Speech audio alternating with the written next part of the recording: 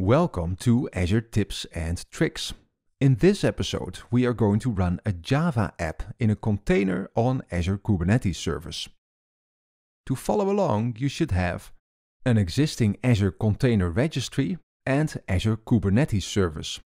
Also, you should have VS Code installed and Docker, the Git CLI and the Azure CLI. You can find links to these in the video description. Alright, let's get started. First, we are going to clone a sample Java application from this URL. You can find the URL in the video description. I want to save it here. And OK, here we go. Alright, let's open it. And that's it.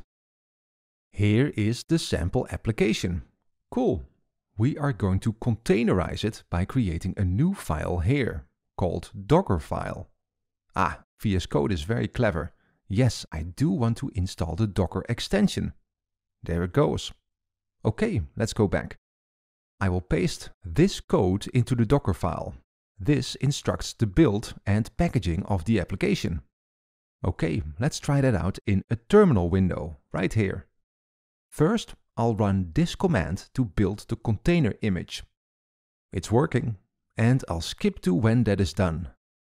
Okay, let's see if it worked. So now I have a local image of the application container. Cool. And next, I can run it locally. And it is going. Let me test that with a browser. Here it is. This is the Java application running in a container on my local machine. Okay, let's go back. Next, we'll push this container to our existing Azure Container Registry. From there, Azure Kubernetes Service can pick it up and run it. But first, I'll feed in some parameters with the resource group and service names. This will help me with the upcoming commands. Okay, and now log into Azure. Here we go. Done.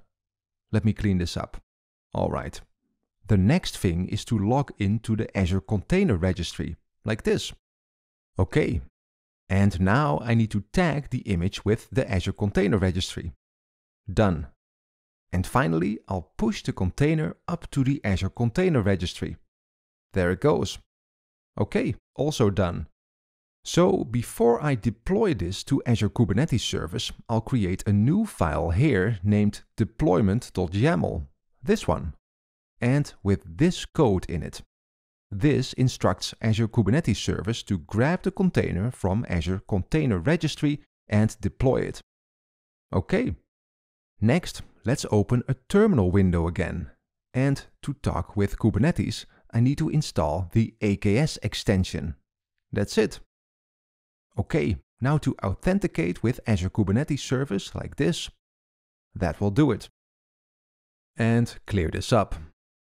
Finally, I'll apply the deployment.yaml file and let it run. And after a while, I can run kubectl get all to see the status of the cluster. And here is the running image. And it should be reachable on this external IP address. Let's try that. Yep, there it is. Very cool. Containers provide a programming language agnostic platform to run applications in.